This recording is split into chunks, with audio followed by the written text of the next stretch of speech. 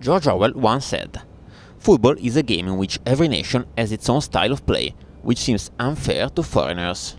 Roy Aitken, former captain of Scotland and sports director of Al Ahli, the club who topped the United Arab Emirates Premier League, is sure that his club and the UAE are close to finding theirs. We are developing our players all the time. We bring in four players, international players from outside of the UAE, but the bulk of our squad are, are local players.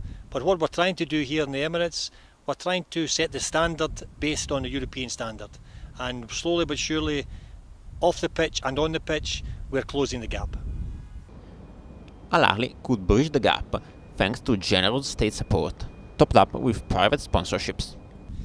The bulk of the money comes from the government, from the sheikhs of the country. They are very keen in developing sport in the region, and our club is not only a football club, football is the main sport, but we have also basketball, handball at professional level. We have cycling, we have karate.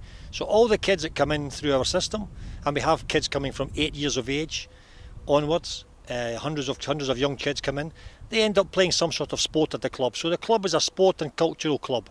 Al Ahli have nine youth teams from the under 8s to the under 90s. The young players train five days per week. In 2014, they will take advantage of a new training center, which is almost ready. Al Ahli, like the Ravas, work both for their own glory and for the UAE national team, because in Dubai the country always comes first. For these reasons, nobody should be surprised when the United Arab Emirates reach the World Cup finals again, as they did in 1990. I think the future is very bright. The, the national team at the moment are the number one team in the region. They have some very, very good young uh, international players. So the next generation of players, I think, is going to be very, very good for UAE national team in general.